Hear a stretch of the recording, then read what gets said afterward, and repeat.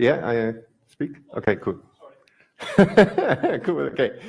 Yeah, uh, hello. Um, uh, welcome to my talk on uh, what role um, did free software play during the crisis um, or will play during the crisis or also for ongoing crisis, you never know. Um, and uh, my name is Alexander Sander. I'm um, FSFE's senior policy consultant and we are the Free Software Foundation Europe. And uh, this is a charity that empowers users to control technology. And we do believe that this is done through the help of free software. And um, part of our work is, for example, to do policy-related activities, so lobbying uh, across Europe, and uh, for example, also in Brussels, in order to make sure that uh, free software plays an uh, important role in lawmaking. And uh, in this regard, we also um, yeah, follow the crisis and have um, checked out where, um, um where free software can play a role. Um, and um, you might remember, especially in the beginning of the Corona crisis, we uh, kicked it off with closing the borders. And that's a huge issue. As you know, the freedom of movement for people, but also for goods, is a fundamental right in the European Union. And so with this, um, yeah, we had a huge issue in the European Union, and um, and um, so uh, we thought about how can we uh, make sure that we can open the borders again.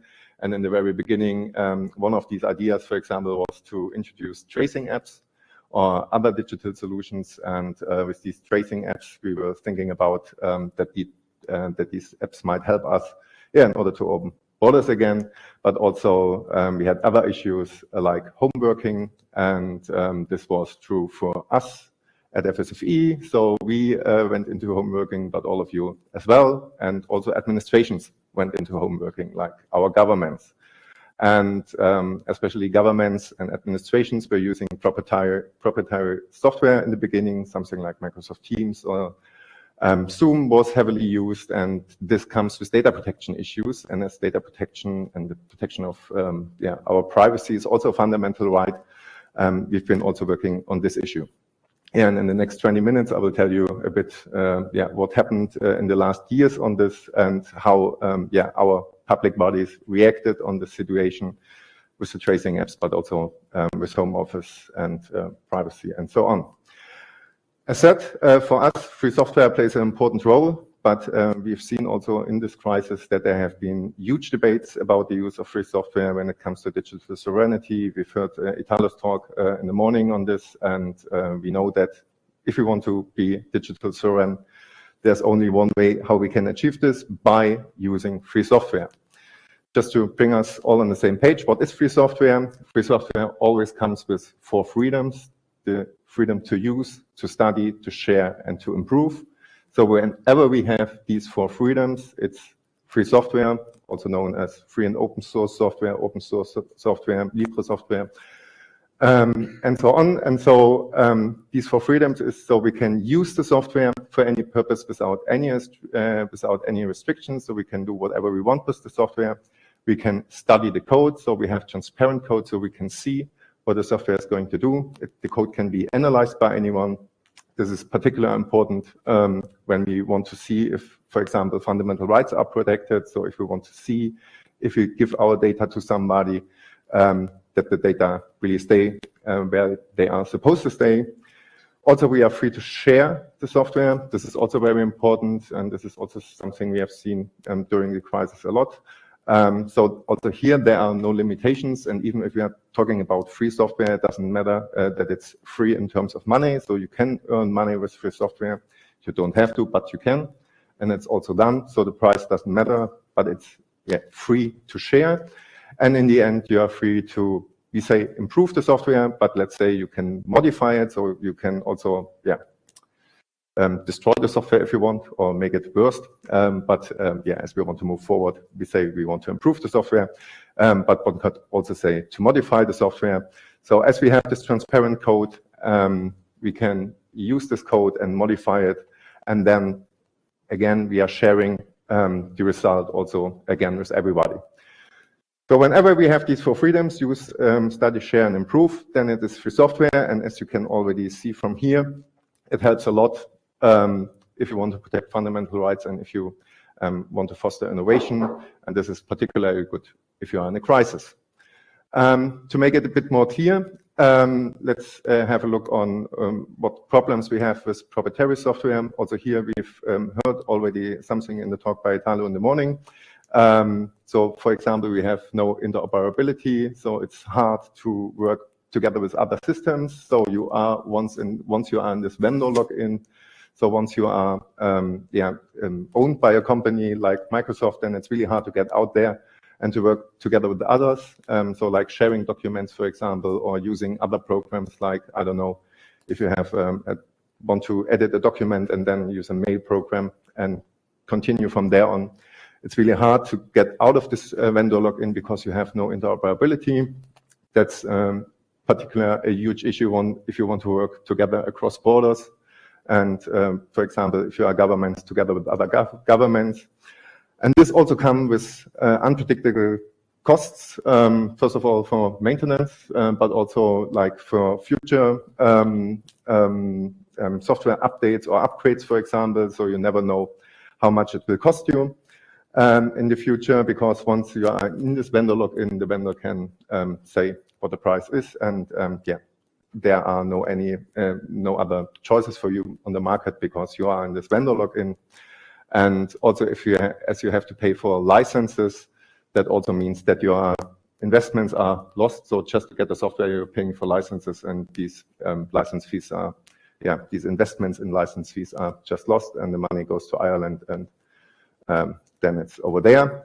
And we've also seen, um, especially um, with the tracing apps, for example, um, that there's a low acceptance by citizens because we don't have transparent code and we can't see what the software is going to do. So we don't know if our um, data, for example, are uh, protected. And in the end, we have um, security issues. So again, as we don't have um, um transparent code, it's um, not that easy to find backdoors, for example. And um, so the solution, on the other hand, then is free software because we have this interoperability due to open standards by default. So everything comes with, yeah, interoperability by default as everything is open, as we have these four freedoms. And thus we can make sure um, we can work across systems and um, then also borders.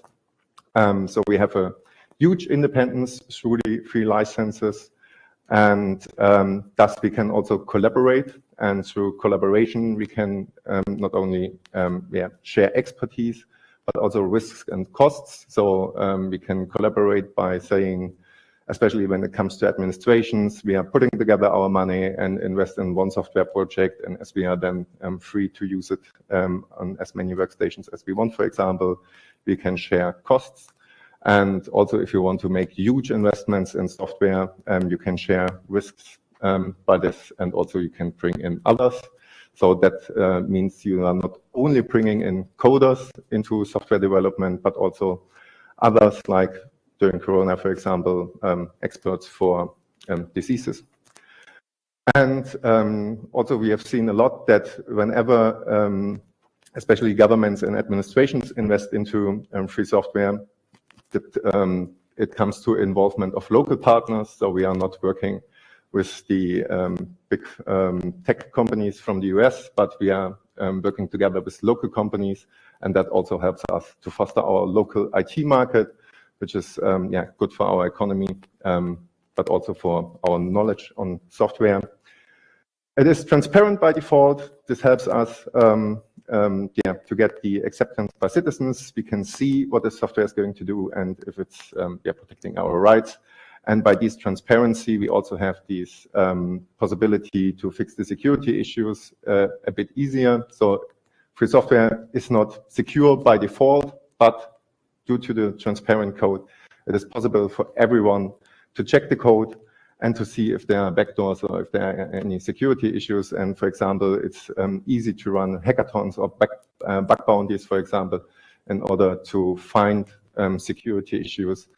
And also, you don't have to go to the vendor afterwards and ask them to fix the security issue. You can fix the security issue um, by your own or together with the help of others directly and give it back to the community, which is also a major win. So if you, for example, look at the um, known bugs at um, proprietary software which are still not fixed because of um, economy reasons, then um, you see why it is a very good idea to go to free software projects because there um, you can fix the security issues by yourself or um, others can do this. And yeah, it could be just done and everybody can see what has been done. And this is why it helps you to have a more secure software product in the end.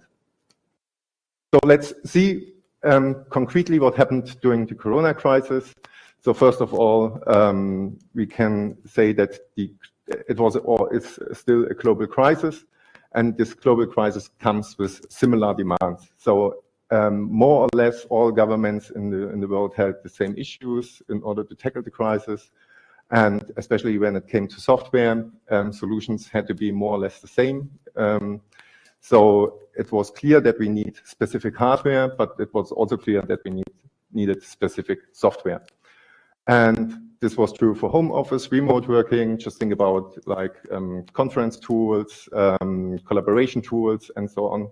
So this was needed everywhere, um, even if it was private, public, or um, business. And um, especially when we are talking about these tracing or certificate apps, um, which are around. So this is also true um, for these apps that they had to be um, somewhere accepted everywhere. So because else um, this cross-border checking and cross-border tracking wouldn't have been possible. But also if you want to show your certificate, not only in Spain, but if you go to, I don't know, Germany, for example, and want to show it there, it must be um, sure that there is, for example, a translation in place and that people uh, across the border understand what they are seeing here. So the solution, first of all, is that we needed interoperability, yeah, because without any interoperability, we couldn't do cross-border tracking. So, um, and we need the independence through free license to make sure that across borders, um, we could work together and see, um, for example, yeah, only through um, a translation, but that the backend is more or less the same, um, that we can yeah, independently um, um accept what's coming from another country.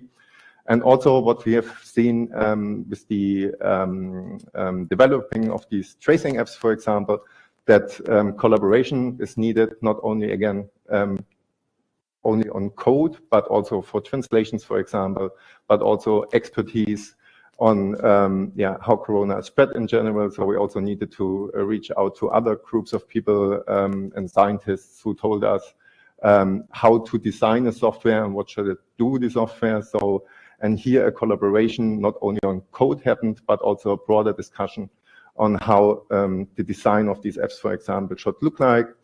Um, how we handle uh, certificates and, for example, then also how do we protect our data.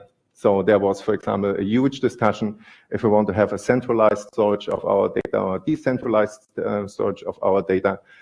And this is also part of the software project. And this discussion was only possible because we had open standards and we had transparent code and thus we could see um, how our data are stored. And by thus we could go out and say to the people, um, you can use this and not only the government said it, but also, for example, NGOs who checked the code then and said um, um, you can use the software because we had the transparent code and see what happened here. So, and this transparency helped for acceptance by citizens um, because, um, yeah, if only two people, for example, use these tracing apps, then it's useless. It only makes sense if a lot of people use it, and therefore we needed a lot of acceptance, and this acceptance came um, due to the use of free software.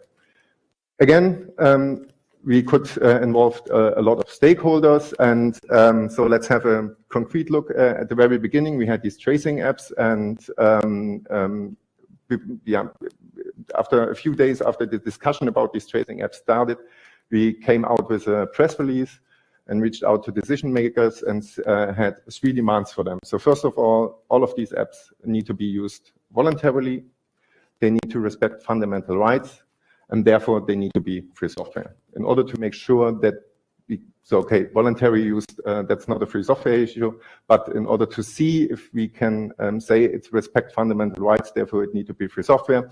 And with this demand, uh, we yeah, uh, reached out to the media, but also to decision makers.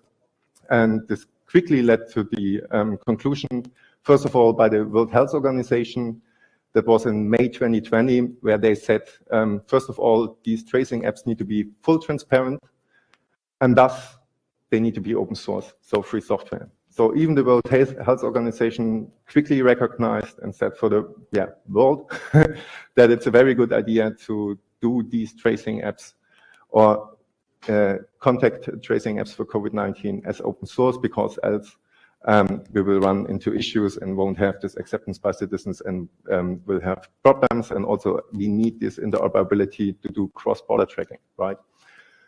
Um, same is true for the um, e-health network of the European Union. The e-health network is the European Commission, the European Parliament, and all member states of the European Union. So this is a, a huge network, um, which we, where we can say in the end it's the European Union, um, and they also um, yeah, um, wrote a paper on a common toolbox for member states, um, how to do um, these tracing. Um, and uh, that was uh, also in the beginning of uh, April 2020. And also there, they recommended um, that it should be openly published. So first of all, the technical specif specifications, but also the source code. And uh, that's very important. They said for to maximize reuse, interoperability, auditability, and security.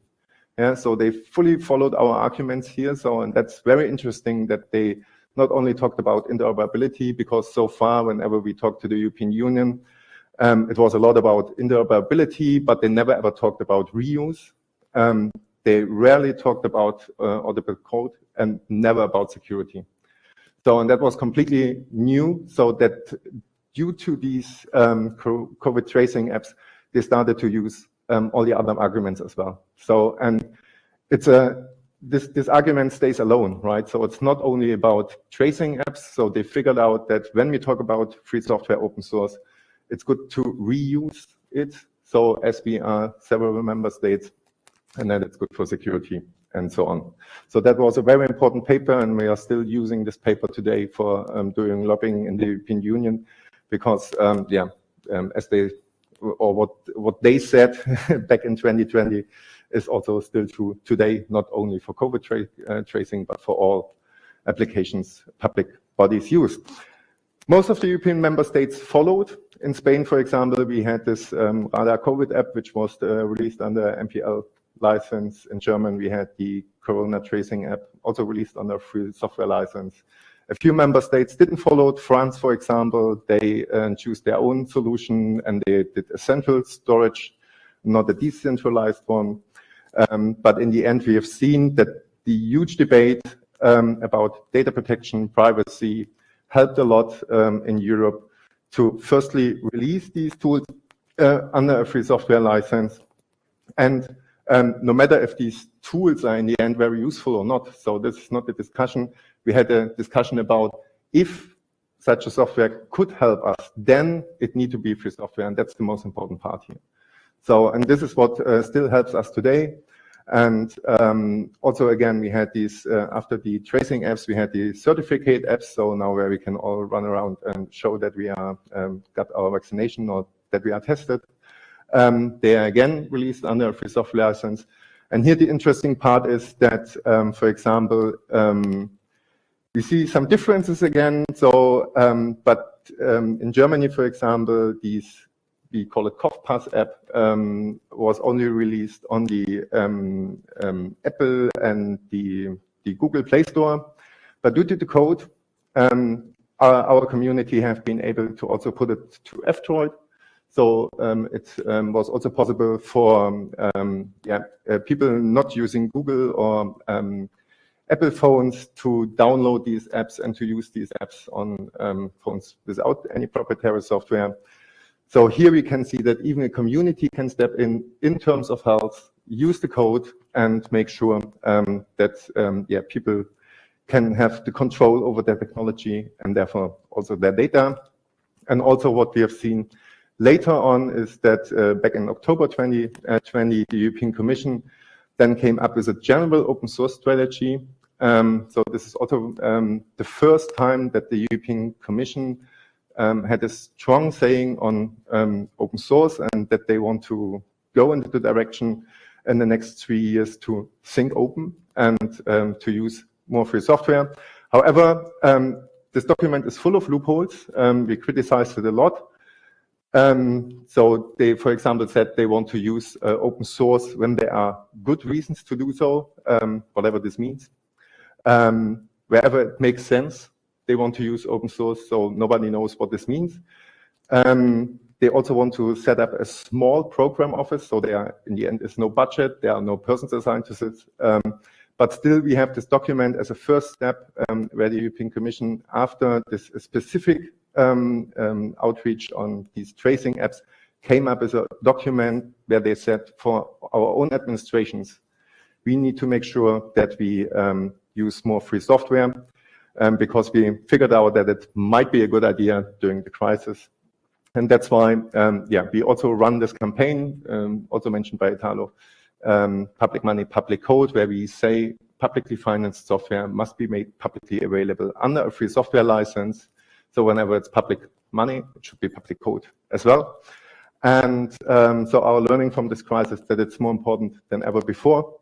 And therefore, I skipped some slides and um, um, uh, want to show you this campaign. It is also already uh, supported by um, many organizations, also some administrations uh, supported, like uh, in Spain, the city of Barcelona or the um, parliament in Asturias um, support uh, our campaign. So if you haven't signed this campaign, feel free to, to do so. You can do it uh, individually.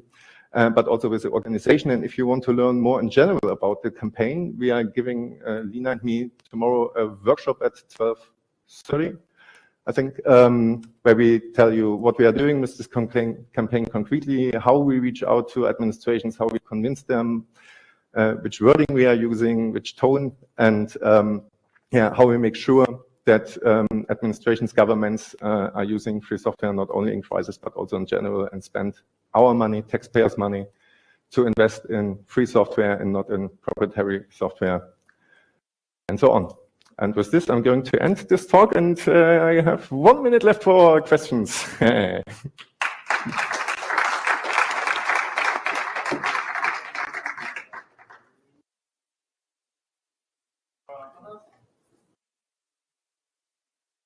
awesome. Yeah.